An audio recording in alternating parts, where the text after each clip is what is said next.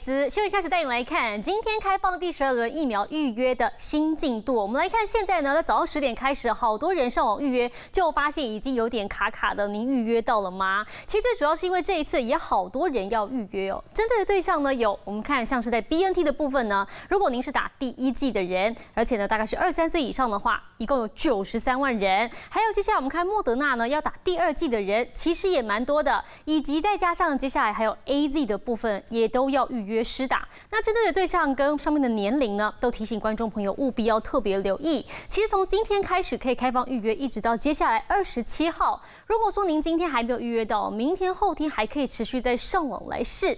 那这个施打的时间上面来说，B N T 呢是十月二十八号打到十月三十一号，莫德纳也是十月二十八号到十一月三号。其实时间上来说还蛮短的。那其实我们有实际问到了观众朋友，说十点的时候才刚开放，网络卡卡的宕机，等了。至少五分钟才跳到网页上面，就有预约民众说奇怪了，比起之前这一次怎么更卡了？还是进不去，哎，这真的是太逼人了。我们就卡在这边不用上班了。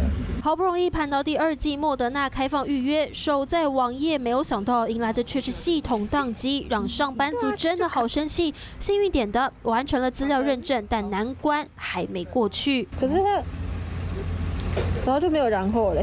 按下确认送出，但网页怎样就是没反应。二十五号早上十点开放第十二轮线上和药局预约，不止网络问题多，药局现场更是出现状况。其实我们今天有有遇到两三位民众，哦，他是他的年纪跟第一季施打时间是符合政府公告可以接种第二季的一个一个资格的，但是因为他没有在呃在期限前先完成医院登记，要是忘记医院登记，就得再等下次，让不少民众扑空。这次第十二轮。疫苗预约从二十五号早上十点到二十七号中午十二点开放，二十三岁以上接种 B N T 第一剂和十八岁以上且在七月十六号前接种过莫德纳疫苗，并且要预约第二剂的民众，预计将在二十八号开放接种。至于第一剂 B N T 和第二剂 A Z 接种，也考虑放宽接种资格。不过预约疫苗接种却每每都会遇到网路卡卡的状况，只希望政府能尽快改善。华视晚上胡新宇台北报道。